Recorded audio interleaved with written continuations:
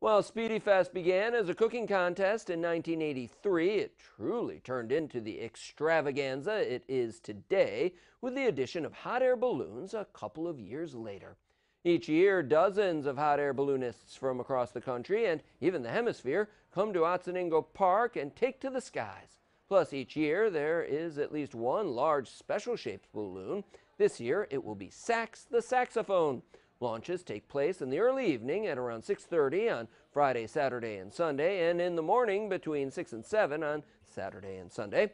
Rides are available to purchase at the festival. For more information, go to spiediefest.com or call 765 6604. There